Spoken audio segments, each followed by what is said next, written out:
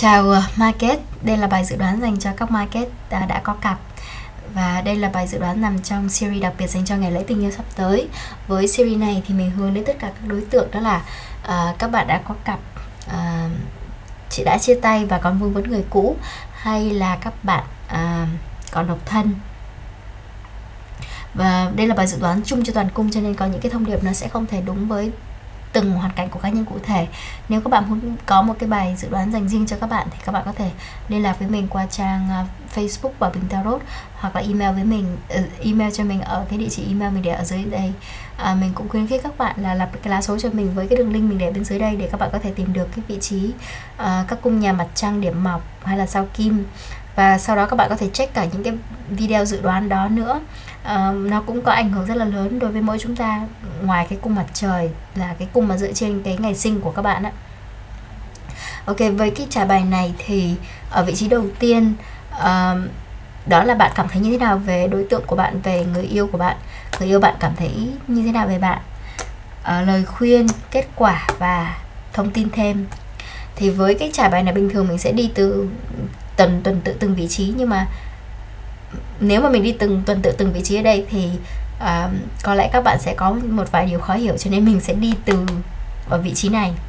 Khi mà mình xem xét tất cả những lá bài này thì mình nhận thấy rằng uh, bạn market ấy, uh, à, bạn chưa quên người yêu cũ của bạn.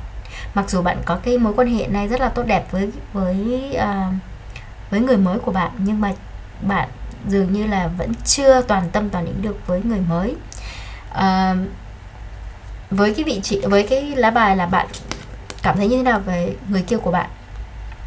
Thì người kia làm cho bạn cảm thấy rất là vui vẻ rất là trọn vẹn viên mãn. Họ họ làm trọn vẹn cái cuộc sống của bạn. Tuy nhiên bạn vẫn có những cái đấu tranh tư tưởng và bạn bạn không tiến tới được. Bạn vẫn bởi vì bạn tự tạo ra những cái những cái rào cản cho bản thân từ những cái suy nghĩ của mình. À, và đó là cái cái người yêu cũ của bạn bởi vì bạn bạn có lá release your ex là hãy để cho người yêu cũ của bạn ra đi. The time has come to clear your energy, là bạn cần phải dứt khoát trong cái năng lượng của mình.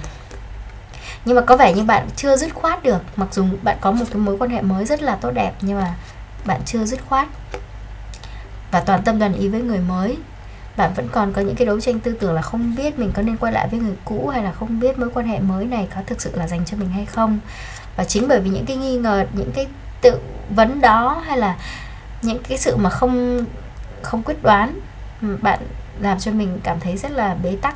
Bạn không dám bước tới mà cũng không tiến thoái lưỡng nan đấy và ở vị trí là người kia nghĩ như thế nào về bạn thì bạn họ cũng cảm thấy bạn là tất cả những gì họ đã trông đợi từ bấy lâu nay.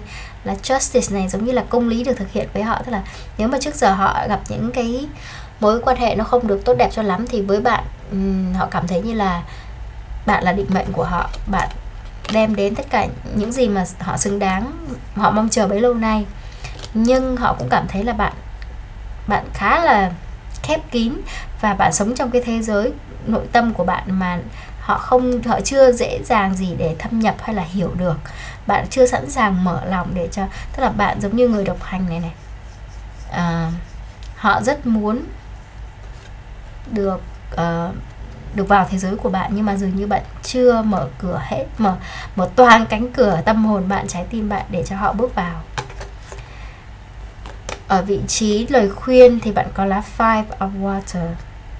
Um, nine of cups và ace of cups.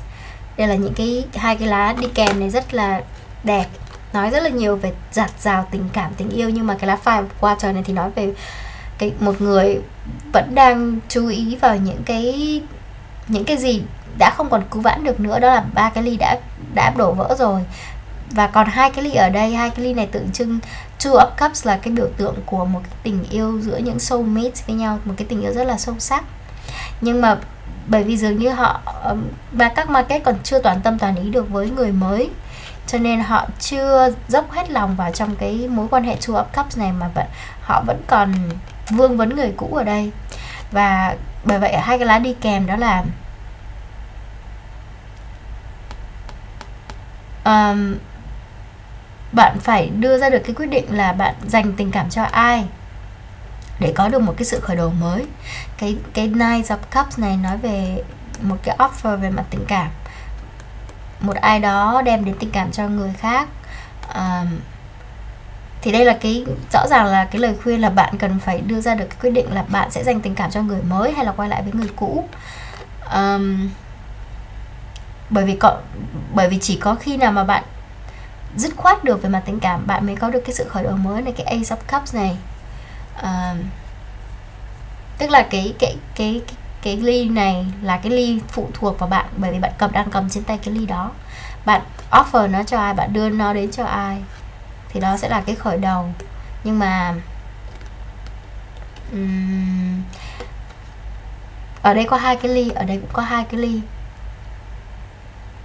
Nhưng mà bạn vẫn còn đang chú trọng, chú ý đến cái, những cái ly mà bạn đã, nó đã đổ và nó không còn cứu vãn được nữa. Thì bạn cần phải đưa ra quyết định. Nhưng cái kết quả là dường như bạn không đưa ra được quyết định bởi vì bạn có rất là nhiều lá nói về cái sự không ờ, không không quyết đoán của mình. Two of Air là cái lá Two of Swords trong bộ truyền thống và bạn cũng có lá Two of Pentacles nói về việc tung hứng nhiều sự lựa chọn một lúc và không đưa ra được quyết định. Lá này cũng là lá không đưa ra được quyết định. Né tránh cái việc phải đưa ra quyết định. À, và lá này là lá có vẻ tham lam tức là tung hứng không muốn bỏ bên nào cả. Nhưng để có được cái sự khởi đầu mới này đây là, là the fool là nói về một sự khởi đầu mới thì bạn phải đưa ra quyết định và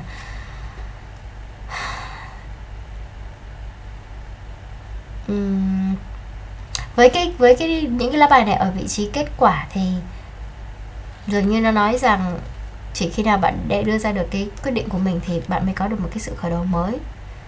Nó cũng giống như ở đây này. Khởi đầu hay không là do bạn khởi đầu mới hay không là do bạn. Tức là một cái khởi đầu chắc chắn mà không làm tổn thương những người có liên quan. À, thì bạn phải dứt khoát về mặt tình cảm và ở đây nó cũng nói về việc là bạn phải release your ex là hãy để người yêu cũ ra đi.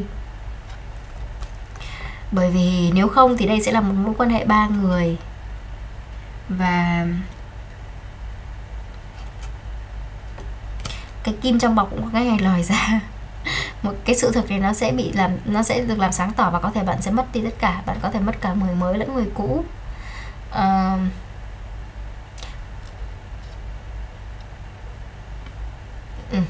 đó là cái cái cái trải bài này dành cho các bạn. Mình mình thấy nó khá rõ ràng và mình không cần phải thêm thắt cái gì cả. Bởi vì rõ ràng là bạn, do cái việc là bạn không dứt khoát được, bạn tự đặt mình vào, bạn đặt cả người kia vào trong một cái tình huống nó nó không được rõ ràng cho lắm. Cho nên nếu đây là hoàn cảnh của bạn thì bạn hãy đưa ra quyết định cho bản thân. Còn nếu bạn và người yêu của bạn không hề có vấn đề như thế này thì có nghĩa là cái trả bài này nó không dành cho bạn. Bạn nào mà xem xem uh, xem xem xem trải bài này cho người yêu của mình là cung market đừng có ờ, gán gắn ghép nó vào hoàn cảnh uh, của cặp của mình.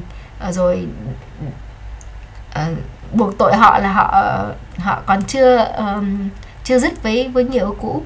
Um, những có những người họ trong hoàn cảnh này thì sau khi mà họ họ xem cái trả bài này họ sẽ hiểu ngay đó là tình cảm của mình. Còn nếu mà nó không liên quan gì đến mình thì thực sự nó không dành cho bạn cho nên bạn đừng lo lắng. Ok mình hy vọng là các bạn đã tìm thấy được ít nhất một một thông điệp nào đó có ích trong cái bài dự đoán này và nó giúp bạn phần nào trong cái việc định hướng. À, nếu bạn like nếu bạn thích video này thì hãy nhấn like cho video của mình và uh, subscribe cho channel của mình nữa để theo dõi thêm nhiều video trong thời gian sắp tới. Mình sẽ có rất là nhiều những bài dự đoán trong 12 cung hoàng đạo về tất cả các um, khía cạnh khác nhau của cuộc sống. Uh, mình chúc các bạn có một tháng 2 nhiều niềm vui và hẹn gặp các bạn trong các video tiếp theo. Xin chào và hẹn gặp lại.